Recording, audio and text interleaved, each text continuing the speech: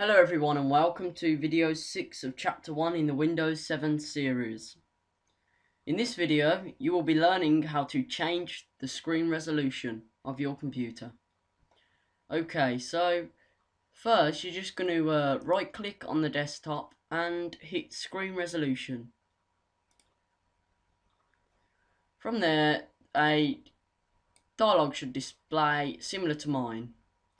Okay so this area here is basically the screens you currently have connected.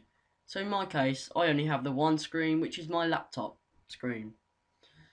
Okay, so the display will also be identified by numbers, so 1 and 1. If you have another display, you will obviously have two displays here, with 1, which will be up here, and 2, which will be next to it.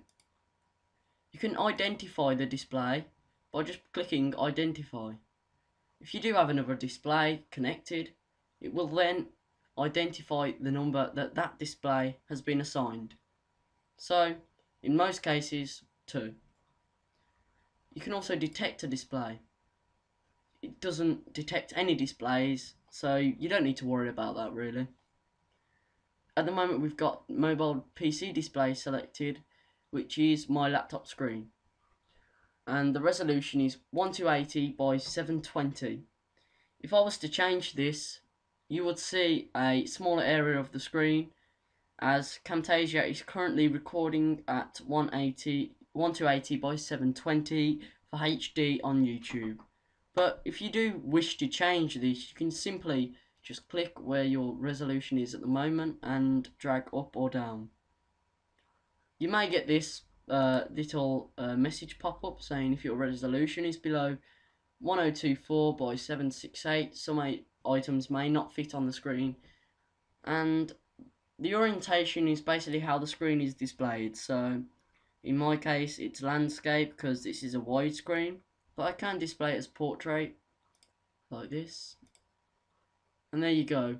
As you can see though the screen has actually uh, gone the other way round so it's quite tricky for me to actually control the screen at that uh, portrait orientation.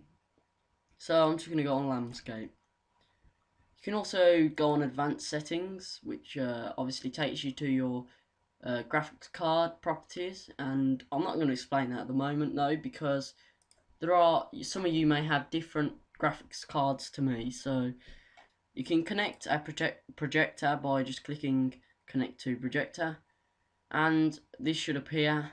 Yours may be different depending on the drivers obviously. It might be the same but so doing this you can either duplicate the display extend it or just display it on the external display which would be the projector or TV you can make text and other items smaller or larger but I will be explaining this in another tutorial on the series Thanks for watching guys. Uh, don't forget we do put a lot of time and effort into these video tutorials, so please rate, comment and subscribe.